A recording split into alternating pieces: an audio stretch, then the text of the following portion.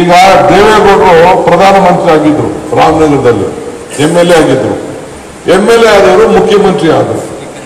ಮುಖ್ಯಮಂತ್ರಿ ಆದವರು ಪ್ರಧಾನಮಂತ್ರಿ ಆ ಸೀಟ್ ಸಿಕ್ತು ಅವರು ಖಾಲಿ ಮಾಡಿದ್ರು ಸೀಟ್ನ ಅವ್ರ ಮೇಲೆ ಅಂಬರೀಷ್ನ ಎಲ್ಲ ಸೆಲೆಕ್ಟ್ ಮಾಡಿದ್ರು.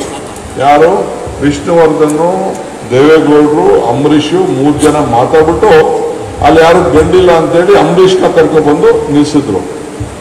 ನಾವು ಸಿ ಎಂ ಲಿಂಗಪ್ಪ ನಿಲ್ಲಿಸ್ತು ಯಾರ ಸೀಟ್ಗೆ? ಪ್ರೈಮ್ ಮಿನಿಸ್ಟರ್ ಸೀಟ್ಗೆ. ಯಾರು ಗೆದ್ರು? ಅಂಬರೀಷ್ ಸೋತ್ರು ಸಿ ಎಂ ನಿಗಪ್ಪ ಗೆದ್ರು. ಇದು ಇತಿಹಾಸ. ಅವರ ಅಧಿಕಾರದ ಬಲ ಏನಾಯ್ತು? ಅವ್ರ ಹಣದ ಬಲ ಏನಾಯ್ತು? ಹಣದ ಬಲ ಅಧಿಕಾರದ ಬಲಕ್ಕಿನ್ನ ಈ ಜನದ ಬಲ ಇದೆಯಲ್ಲ, ಅದು ಬಹಳ ದೊಡ್ಡದು. ಈಗ ನೀವು ನಿಮ್ಮ ನಿಮ್ಮ ಬೂತಲ್ಲಿ ಹದಿನೈದನೇ ತಾರೀಕು ಆದ್ಮೇಲೆ ವೋಟರ್ ಇಷ್ಟ ಮಡಿಕೊಳ್ಳಿ